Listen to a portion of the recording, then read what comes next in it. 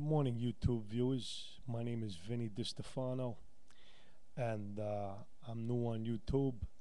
And I just want to let you know if you'd like to get a good movie out, get a movie called The Pope of Greenwich Village, starring Mickey Rourke, Eric Roberts, and Daryl Hannah. It was filmed in New York City and Little Italy in 1984, and I had a speaking role in the movie. I play Vinny, the guy in the park with the radio. Mickey Rourke's friend. He Mickey Rourke plays Charlie.